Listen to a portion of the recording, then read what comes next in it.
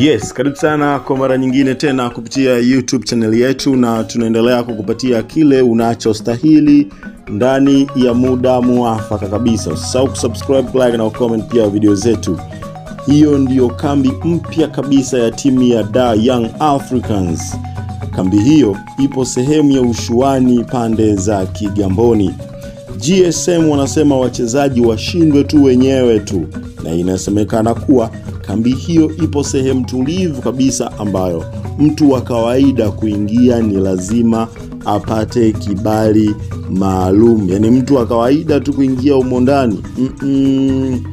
ni lazima kibali maalum. Na hapa ndipo ambapo wananchi yani young africans walipoweka kambi yao huko kigamboni mwaka huu hawataki bugdha kabisa. Lengo lao msimu huu ni kutoa ubingwa. Wananchi wananchi.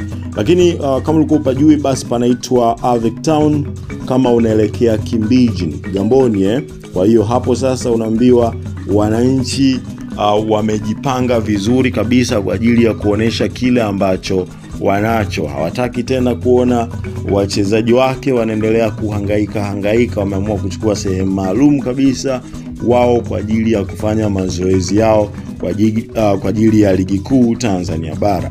Unapaonaje? Una, unadhani sasa hii itakuwa ni kitu poa sana kwa ajili ya mazoezi yao? Usisahau kucomment basi kupitia hapa